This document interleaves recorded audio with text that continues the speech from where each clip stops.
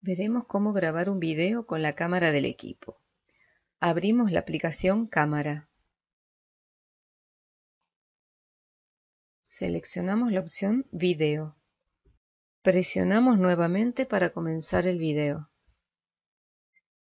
Podemos observar en la parte inferior de la ventana el tiempo de grabación. En el lateral derecho encontramos los botones pausar grabación y detener o dejar de sacar video.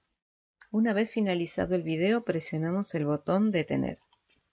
Cuando detenemos el video podemos ver en el álbum de la cámara nuestro video. Se abrirá mostrándonos la opción reproducir y pausar. Con el botón más podemos abrir la carpeta donde se encuentra guardado.